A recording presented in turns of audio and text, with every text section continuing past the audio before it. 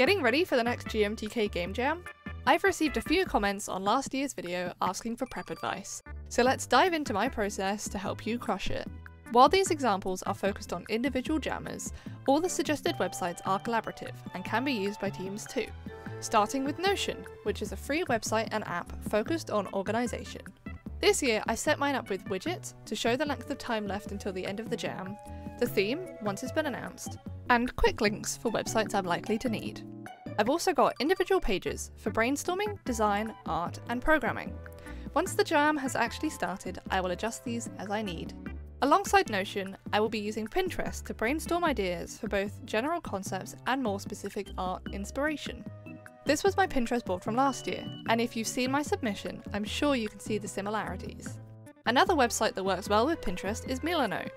I wish I could say they've sponsored this video, but alas, they have not.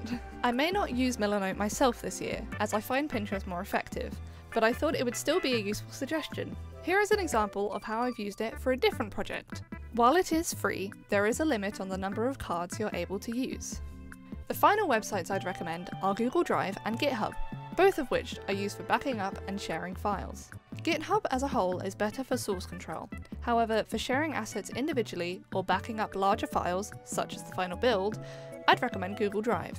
Finally, onto game engines. To put it simply, if you're looking to do a game in 3D, your main options are Unreal Engine or Unity. For 2D, it's Unity or Godot.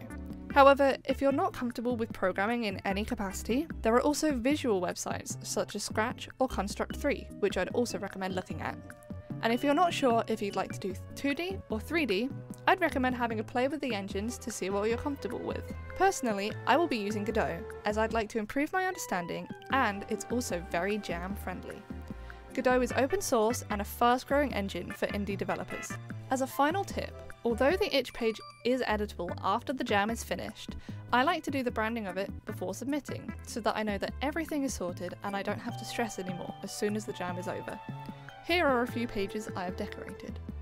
Hopefully this quick little video has helped you feel more confident with planning for the jam, and I wish you all the best of luck.